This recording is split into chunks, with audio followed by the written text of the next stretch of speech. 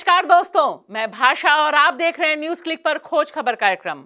आज अपने इस कार्यक्रम में मैं आपके साथ मोदी जी और उनके चीतों पर नहीं चर्चा करने जा रही, क्योंकि उन्हें देखकर आपका मन भर गया होगा या भरने भरने को होगा।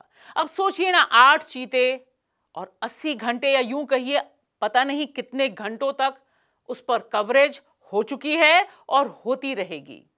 यहाँ ध्यान देने की बात बस इतनी है कि मध्य प्रदेश के, श्योपुर के, कूनों में, जहाँ करोड़ों रुपए खर्च करके नामीबिया से आठ चीते लाए गए हैं, वह पूरा का पूरा इलाका भीषण गरीबी, भुखमरी से घिरा हुआ है।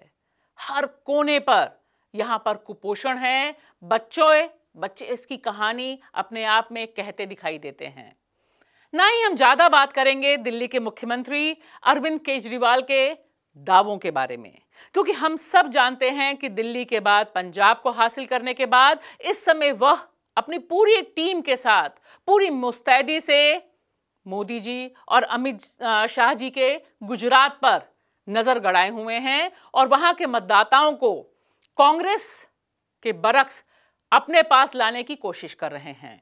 तमाम बातें हैं कि भाजपा और आम आदमी पार्टी में कितनी समानताएँ हैं, यह सब अलग विमर्श का मुद्दा है, लेकिन दो तीन बहुत अहम चीज़ें जिन पर राष्ट्रीय राजनीति में चर्चा होना ज़रूरी है।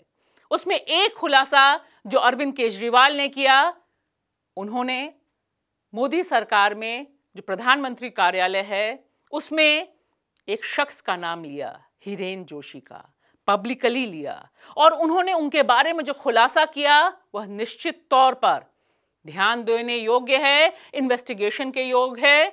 तमाम तरह के पत्रकारों को पता करने के लिए ज़रूरी है कि जो सारा दावा अरविंद केजरीवाल, हिरेन जोशी के बारे में कह रहे हैं, उन्होंने जो बताया कि किस तरह से यह तमाम बड़े मीडिया घराने के मालिकों, संपादकों को फ़ोन करके धमकाते हैं, अभद्र भाषा का इस्तेमाल करते हैं कि बाकी जो पार्टियाँ हैं, उनका कवरेज मीडिया में ना हो। सवाल बहुत अहम है और निश्चित तौर पर जिस तरह से भारत की राजनीति गरमा रही है, उसमें इसकी पड़ताल होनी चाहिए। हम सब जानते हैं कि इसके साथ साथ उन्होंने जो धर्म की कौड़ी खेली है, जिस तरह से उन्होंने दावा किया है कि सीधे भगवान की कृपा से ही, उनकी इच्छा से ही आम आदमी पार्टी बनी। बड़ी हैरानी होती है सोच के कि एक तरफ़ गोवा में कुछ नेताओं को सीधे कनेक्शन होता है भगवान से, और यहाँ पर अरविंद केजरीवाल एक के बाद एक। इस तरह से काट चलते हैं, उनका कितना असर होगा, वह तो अलग बात है। और इसी के साथ भारतीय राजनीति का एक अहम चेहरा भारत जोड़ो यात्रा में भी दिखाई दे रहा है, जो कांग्रेस चला रही है। राहुल गांधी के नेतृत्व में भारत जोड़ो यात्रा कन्याकुमारी से शुरू हुई, इन दिनों केरल में है। यहाँ मैं आपसे ज़िक्र बस इतना करना चाहूँगी कि जिस तरह से इस भारत जोड़ो यात्रा को निशाने पर लिया है, जिस तरह से इस पर हमला है, जिस तरह की गंदगी उड़ेली जा रही है, वह बताती है कि भाजपा और भाजपा से जुड़े लोगों के दिमाग में किस तरह की विकृतियाँ हैं। यहाँ देखिए यह फ़ोटो, जिस पर बवाल काटने की कोशिश की थी। भाजपा से जुड़े तमिलनाडु के नेता ने, इस शख्स ने, राहुल गांधी, अपनी बहन प्रियंका गांधी की बेटी के साथ बैठे हुए हैं, पुरानी फ़ोटो है, और इसे लेकर जो उन्होंने अपनी दिमाग की गंदगी उड़ेली सोशल मीडिया पर, वह बताता है कि भाजपा किस तरह से किसी भी नौजवान लड़की को, बच्ची को देखती है और दुष्प्रचार में इस्तेमाल करने की कोशिश करती है। दोस्तों, आइए चलते हैं, भारत को देखते हैं कुछ तस्वीरों से। बहुत कुछ कह रही हैं तस्वीरें। यह पत्र देखिए। यह पत्र भारत के एक नागरिक ने जब वह ज़िंदा थे, मोदी साहेब को लिखा। उनके जन्मदिन की बधाई दी। उन्होंने लिखा, आप बस अपने बारे में सोचते रहते हैं मोदी साहेब। आपको हमारे उत्पाद की गारंटी की कीमत देनी चाहिए। मैं आपकी लापरवाही की वजह से आत्महत्या करने पर मजबूर हो रहा हूँ। प्लीज़ हमारी फ़सलों को उचित दाम दो। यह हमारा हक है। 45 साल के दशरथ लक्ष्मण कैदारी ने मरने से पहले यह पत्र प्रधानमंत्री के नाम लिखा। महाराष्ट्र के पुणे के एक गाँव से ताल्लुक था दशरथ का। हम सब जानते हैं कि देश के किसान किस मजबूरी में हैं। वड़गांव आनंद गाँव के रहने वाले दशरथ महज 45 साल के हैं। और आप सोचिए, इस तस्वीर को देखिए और साथ ही साथ आप इसकी तुलना करिए कि किस तरह से प्रधानमंत्री नरेंद्र मोदी ने भव्य तरीके से अपना जन्मदिन मनाया। किस तरह से वह आते हैं एक राजा की तरह अपने जन्मदिन पर चीतों को खोलते हैं। सिर्फ़ इतना ही नहीं, तमिलनाडु में भारतीय जनता पार्टी यह ऐलान करती है कि मोदी जी के जन्मदिन के दिन जितने बच्चे पैदा होंगे, सबको वह सोने की अंगूठियाँ गिफ्ट करेंगे। भारतीय जनता पार्टी और मोदी जी, आपको ये लोग क्यों नहीं दिखाई देते, जो आपको ही संबोधित करते हैं, पत्र लिखते हैं और आत्महत्या करने पर मजबूर होते हैं। यह दूसरी तस्वीर कानपुर से आई है, उत्तर प्रदेश के योगी जी के उत्तर प्रदेश से। यहाँ पर कानपुर में तीन भारतीय नागरिकों ने सीवर सेप्टिक टैंक में दम तोड़ दिया। कानपुर के बर्रा थाने क्षेत्र में, मालवीय नगर में, सेप्टिक टैंक में तीन भारतीय नागरिक, अंकित पाल, उम्र 28 साल, अमित कुमार, उम्र 26 साल, शिवा तिवारी, उम्र 25 साल। यह सब बच सकते थे। हम सब जानते हैं कि सीवर और सेप्टिक टैंक में मौतें सिस्टम की वजह से होती हैं, सरकार की अनदेखी की वजह से होती हैं, क्योंकि यहाँ पर कानून के मुताबिक किसी भी इंसान को उतरना नहीं चाहिए। इसे जानने के लिए बहुत बड़ी विज्ञान की ज़रूरत नहीं, लेकिन फिर भी हम जानते हैं कि 2000 से अधिक भारतीय नागरिक सीवर और सेप्टिक टैंक में मारे जा चुके हैं। अब विडंबना देखिए कि इसी देश में 11 अप्रैल से एक यात्रा चल रही है। स्टॉप किलिंग अस उसकी सिर्फ़ एक मांग है। सीवर और सेप्टिक टैंक में जो हत्याएँ हो रही हैं, इन्हें बंद किया जाए। देश की राजधानी दिल्ली में कुछ ही दिन पहले तीन भारतीय नागरिक मारे गए थे, वे भी तकरीबन इसी तरह से। 131 दिन से अधिक हो गए इस यात्रा को चलते हुए देश के अलग अलग हिस्सों में, लेकिन मौतें, हत्याएँ जारी हैं और सरकार अपनी आपराधिक चुप्पी के साथ चीतों को दौड़ा रही है। दोस्तों, आलम यह है कि 2022 में सितंबर 18 तक 59 भारतीय नागरिक सीवर और सेप्टिक टैंक में मारे जा चुके हैं। यह वह आंकड़े हैं जिन पर खबरें प्रकाशित हुई हैं, जिन पर दस्तावेज़ हैं। जब इतनी चिंताजनक हालत सीवर और सेप्टिक टैंक में होने वाली हत्याओं पर है, जिन पर लगातार चुप्पी बनी हुई है, तब समझ लेना चाहिए कि देश की तस्वीर कितनी भीषण जातिवादी है। यह दृश्य, यह वीडियो भी उत्तर प्रदेश से है। अब आप देखिए कि लखीमपुर में एक लड़की के साथ छिड़खानी होती है, विरोध करती है लड़की, मारपीट होती है और चार दिन बाद उनकी मौत हो जाती है। मौत के बाद जिस तरह से पुलिस जेसीबी से गड्ढा खुतवाकर लाश को दफनाती है, शायद वह बता रही है कि उत्तर प्रदेश में कानून व्यवस्था किस मुकाम पर है। कॉन्ट्रास्ट देखिए कि उत्तर प्रदेश के मुख्यमंत्री योगी जी बयान देते हैं कि उत्तर प्रदेश में जो कानून व्यवस्था की स्थिति है, वह देश और दुनिया में सबसे अव्वल है। बेमिसाल है उत्तर प्रदेश की कानून और व्यवस्था। जबकि हम सब तकरीबन रोज देख रहे हैं कि उत्तर प्रदेश में कानून व्यवस्था, उसकी धज्जियाँ रोज उड़ रही हैं। और इसी के बरक्स अब यह तस्वीर देखिए। योगी जी का मंदिर बन गया है। जी हाँ, योगी आदित्यनाथ का मंदिर अयोध्या गोरखपुर हाईवे के किनारे भरतकुंड के पास बना बनाया जा चुका है। 2014 से योगी के प्रचारक रहे, प्रभाकर मौर्य ने यह मंदिर बनवाया है।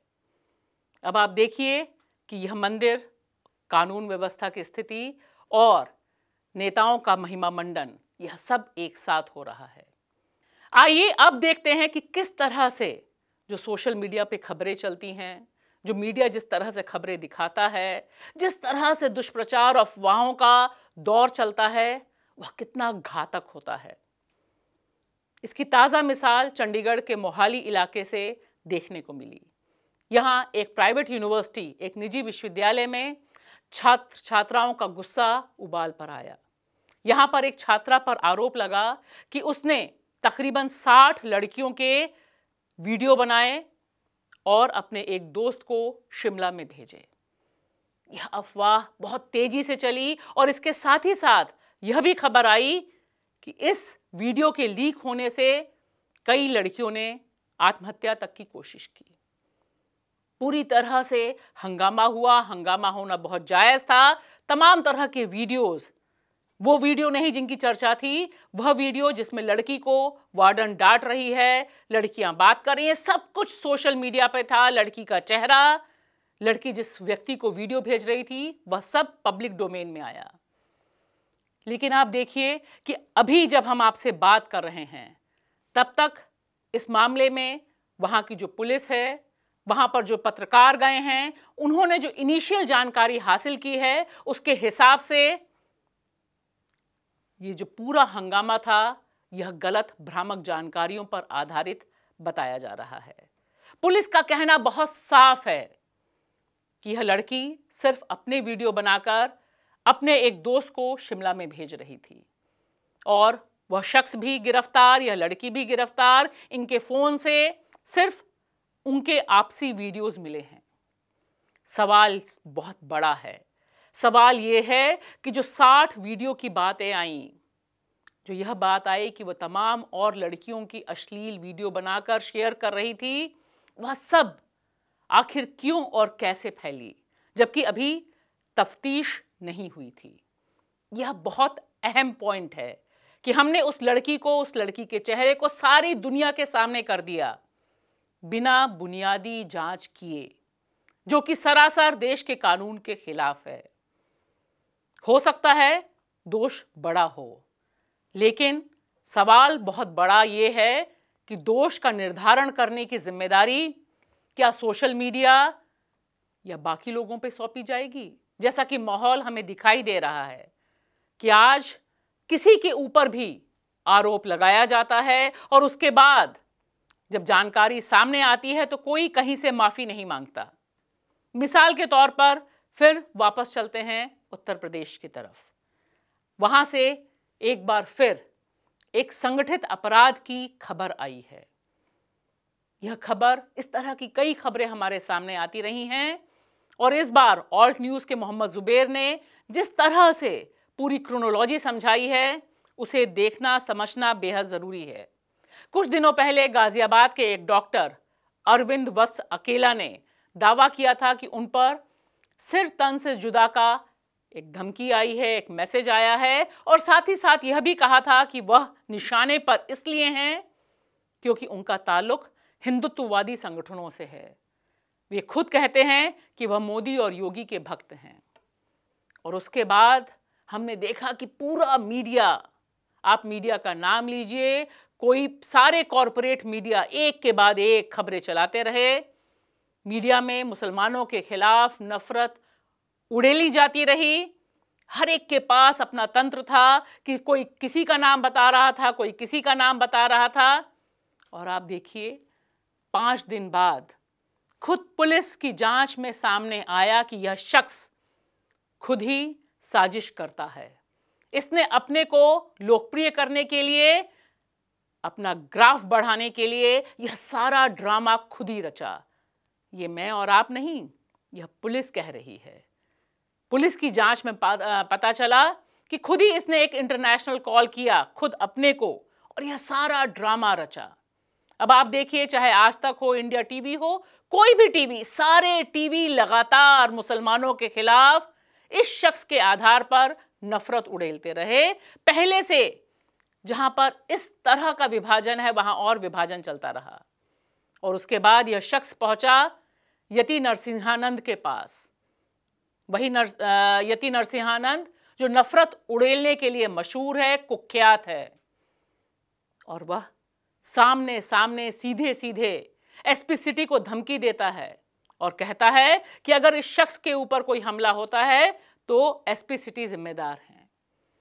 यहाँ आपको बता दें कि यति नरसिंहानंद ने अलीगढ़ मुस्लिम विश्वविद्यालय के खिलाफ भी भीषण, आपत्तिजनक बातें कही थी। उन्होंने कहा था कि इसे बम से उड़ा देना चाहिए। यहाँ जो पढ़ते हैं, जो रहते हैं, उन्हें डिटेंशन सेंटर में डाल देना चाहिए। यह सब कहने के बाद बहुत मजबूरन इनके खिलाफ मामला दर्ज हुआ। लेकिन फ़र्क कुछ नहीं पड़ा। यहाँ पर योगी जी सवाल सीधे सीधे आपसे है कि एक तरफ़ जब आप दावा करते हैं कि नंबर वन है कानून व्यवस्था तो ये जो साजिश करने वाले लोग हैं, ये तो आपको ठेंगा दिखा रहे हैं। लिहाजा बहुत ज़रूरी है इन नफरती तत्वों के खिलाफ बोलना, मुखर होना आपसे अपील है देखिए लाइक करिए शेयर करिए। खोज खबर न्यूज़ क्लिक शुक्रिया।